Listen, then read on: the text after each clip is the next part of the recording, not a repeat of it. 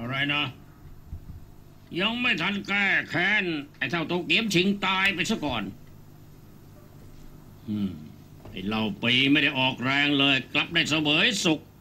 คิดแล้วมันยิ่งแค้นกูจะฆ่าไอ้เราปี เอาศพโตเกียมมาเคียนล้างแค้นแทนพ่อให้ได้ เจ้านายสั่งมาได้เลย เดี๋ยวก่อน ท่านขอรับข้าว่าไม่ควรจะรบกันเล่าปีหรอกนะทำไม คนเราคิดจะทำการใหญ่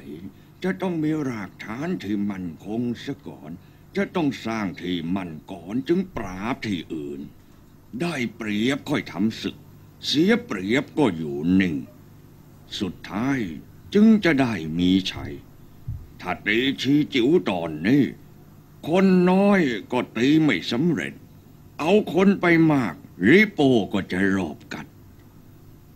ถ้าหากว่าเสียกุลจิ๋วชีจิ๋วก็ตีไม่ได้